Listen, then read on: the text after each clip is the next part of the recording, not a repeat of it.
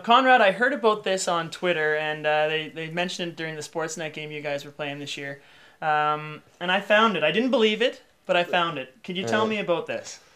Uh, well, when I went to elementary school, we all learned how to knit, and uh, since we spent so much time on the bus, I thought, you know, I might get some knitting needles and uh, start knitting on the bus to pass some time. And well, unfortunately, I broke my wrist, so I had to stop for a while. But uh, yeah, I was trying to make myself a scarf there. So you're back on the ice, and you're back you're back knitting. Now, what uh, what is this going to be? Well, I, I hope that it's gonna be a scarf someday. Uh, I thought it's gonna go quicker than that, but the wool is uh, pretty thin, so it took me forever even to get this far, and uh, got a long ways to go. Does any of the guys give you a hard time?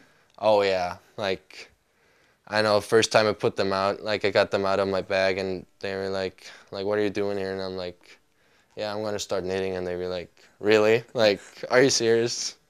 Like, yeah. He's he definitely can do it. He's definitely knitting. Great.